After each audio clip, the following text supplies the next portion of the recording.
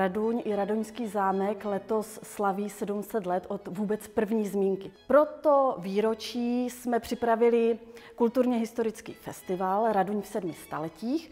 Eh, při němž chceme představit nejrůznější akce, připravili jsme koncerty, výstavy připravujeme a rádi bychom, aby návštěvníci u nás zažili i něco nevšedního. Cyklus čtveroročních období. Chceme společně s Filozoficko-přírodovědeckou fakultou Sleské univerzity představit aristokratická jídla z 19. století v období jarním, letním, podzimním a zimním.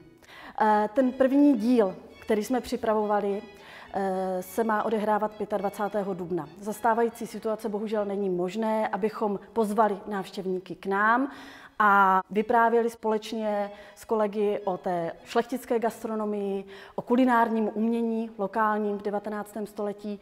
No a proto jsme se rozhodli zvolit virtuální formu, kdy chceme jednak eh, představit místa, s kterými je vlastně spojena Eleonora Lichnovská a samozřejmě jsme rádi, že se můžete podívat i na Raduňský zámek, konkrétně zde do jídelny, v které by se to sice nemohlo odehrávat, ta ochutnávka, ale alespoň máte nějaký zážitek, můžete se podívat do těch našich prostor a vychutnat si je.